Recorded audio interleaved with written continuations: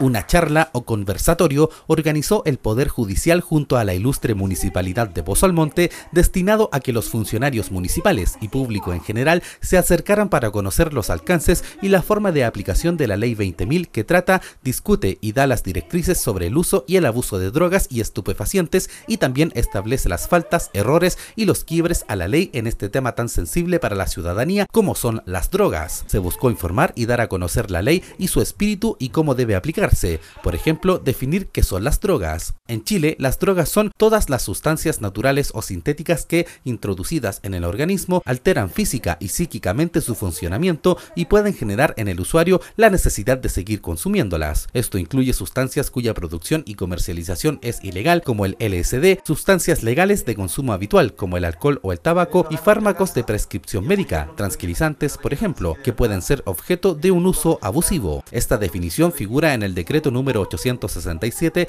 del Ministerio del Interior, publicado el 19 de febrero de 2008, que establece el reglamento de la ley número 20.000, Ley de Drogas. La verdad que este es un seminario que se organizó eh, porque todas las instituciones querían saber primero cómo era la ley de eh, drogas, la ley 20.000. Nosotros como tribunal lo que queríamos era entregar esa información que nos afecta a nosotros como funcionarios públicos y también en general a la sociedad. Entonces la idea nuestra era entregar la información de la ley. Y luego ellos se entusiasmaron enseñándonos cuál era la labor que desarrollaban cada uno de ellos. Por eso que está Carabinero, Gendarmería, Policía de Investigaciones, Aduana, y nosotros como tribunal colaboramos en esto de hacer el marco teórico y casos muy puntuales, porque ellos después explican cuáles son las condiciones en que trabajan. Entonces la idea era que toda la comunidad o la mayor parte de las personas sepan lo que nosotros hacemos.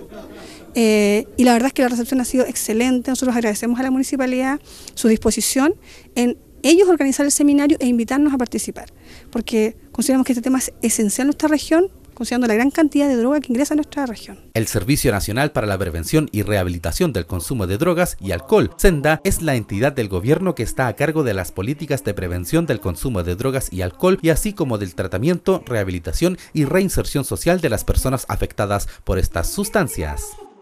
Fue una iniciativa de la propia magistrado que se comunicó directamente con la unidad jurídica y eh, al conocer el alcalde esta, esta que tenía esta oportunidad de realizar esta charla, inmediatamente nos, nos apoyó con todo y se prestaron todo lo necesario para llevar a cabo esta charla, que me parece eh, súper bien que se realice porque no es la primera charla, ya habíamos tenido otra de em, derechos eh, de protección al menor y fue bastante buena.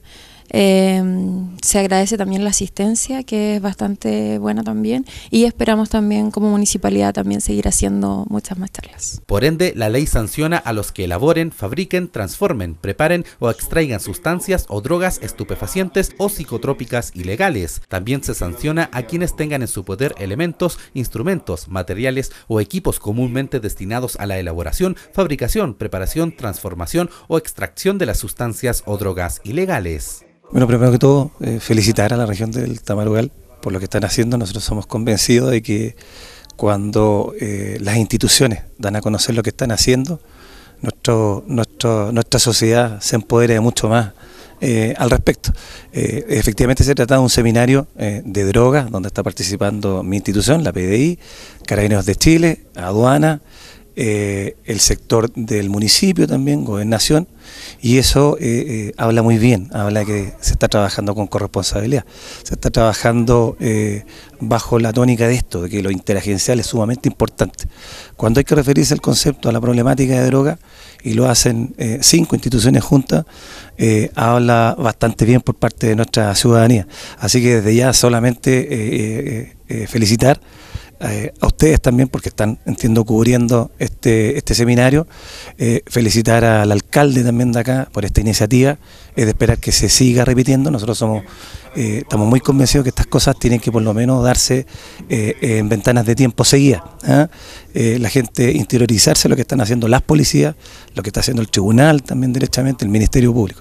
Así que desde ya, insisto, agradecer a ustedes por la invitación de tener a nuestra institución hoy día dando un aporte a lo que es esta problemática del flagelo de la droga. Se entenderá que cometen el delito de tráfico de drogas son los que, sin contar con la autorización competente, importen, exporten, transporten, adquieran, transfieran, sustraigan posean, suministren, guarden o porten tales sustancias nocivas o las materias primas para su elaboración. El tráfico de pequeñas cantidades de droga, lo que usualmente porta un traficante en la calle o algún recinto público para venta inmediata a los consumidores. Si una persona planta, cultiva o cosecha sin autorización plantas del género cannabis, se arriesga a penas de multa entre 40 y 400 UTM y presidio de 3 años y un día a 10 años, salvo que demuestre que esa planta es para consumo personal y próximo en el En tal caso, se aplicarán las mismas sanciones que por consumo en la vía pública, a menos que se demuestre que la tenencia de la planta obedece a un tratamiento médico. Según la gravedad del hecho y las circunstancias personales del responsable, la pena podrá rebajarse en un grado.